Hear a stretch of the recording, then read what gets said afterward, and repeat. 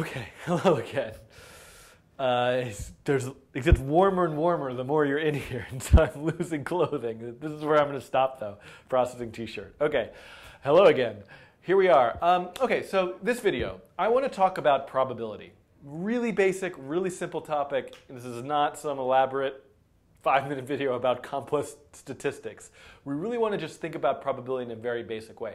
I should say something kind of about this which is that I, I, forgot in my original video, and someday when I go back and remake all these to be perfect, I will get this right, that one of the things about this material is we aren't looking for um, scientific accuracy. We're not, uh, we're not here to um, you know, measure perfectly and recreate with, with amazing realism the exact simulated representation of what happens in nature on the screen. I have a screen over there that I have to turn off because I keep looking at it. Okay, right? That's not what we're here to do. We are here to have to create the feeling of nature in our programs. Sometimes that means, hey, look at the science, understand the science, write the science into our code. Sometimes it means blend some weird looking images we made in Photoshop together to kind of create the feeling of nature. I think probability and randomness is a place where we're kind of walking that line a little bit. Um, we can use randomness to sort of have this accidental uh, representation of nature. In many ways, lots of things in nature are random, but are they purely random? Do they have a pattern? Do they follow Gaussian distributions of random numbers? Should we use this sort of strange function that produces a smooth randomness, like it's Perlin noise? I want to look at all these topics. But we're going to just start with probability. Now, let's go over here and visit. Over there, we're going to visit our random walker. It's been running for quite a while, and we can see that it's creating this kind of nice random pattern, this kind of, uh, that's how I would describe it. Um, and it's working out quite nicely. So what is the thing, what, how does this random walker relate to probability?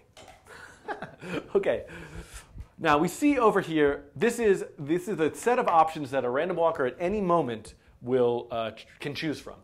It can go to the right, to the top, to the left, or to the bottom with equal probability. A 25, one out of four chance of moving to the right, a one out of four chance of moving to the top, left and bottom, that's a 25% chance each. And in fact, when we use um, the random function in processing, for example, if we want to pick a random number, a random integer, and I think we did this in our code, this will give us a 0, 1, 2, or 3 we have an equal probability of picking any one of those. A 25% chance of 0, 25% of 1, 2, 3. So this is where we start to realize, hmm, is this how nature works? For example, what if we wanted to pick uh, random heights? We're going to create a population of meerkats, and we're going to give them all a random height. Now, I don't really know anything about meerkats, so that's probably a bad example to pick. But I have a guess. And we'll, the Meerkat experts will weigh in in the interactive commenting system we have below, which I don't know if it exists, and tell me about this, whether or not I'm right or not. Okay, let's say we could pick meerkats with a height of 0, 1, 2, or 3. Well, height of 0 also doesn't make any sense, but just go with this. It's more likely that most of the meerkats, meerkats all have a height of around 1.5, right? Somewhere in the middle there, the mean, right? Maybe there are ra uh, very rarely some outliers that are very tall or very short, and perhaps the meerkats follow this kind of bell curve, a Gaussian distribution, a normal distribution of, of, of numbers, of heights. And so I kind of, that's going to be, in the, stay tuned. This is coming soon. And in the next video for you, we're going to talk more about how this works. And we're going to actually look at doing a Gaussian distribution of random numbers in processing. But before we get there, let's just think of some simpler ways we might do this. What if, for example, we want to adjust these probabilities? What if we wanted to say that um, our uh, random walker has actually a 50% chance of moving to the right, and it has a 20% chance of moving to the left, a 15% chance of moving up, and a 15% chance of moving down? These could, I hope that adds up to 100. It does. I'm wrong, I'm wrong. How could we implement something like this in processing? We need to figure out how to have custom distributions of random numbers. Now, um, this computer over here went to sleep, which means I'm standing in front of nothing. Oh, it came back online. This program down here is going to give us a clue. if you look at it, this is a particle system. It's, it's an example that's coming up in uh, chapter, I don't know, chapter, week, lesson, video, whatever, in the particle system section, which is chapter four if you're following along in the Nature of Code book. Notice how often it's making a particle. Definitely not every frame, and certainly not with regularity. We can't say particle, particle, particle. No, it's particle, particle, particle, particle. It's making every a particle every frame with, I would guess actually, because I just put it in an example, a 1% chance.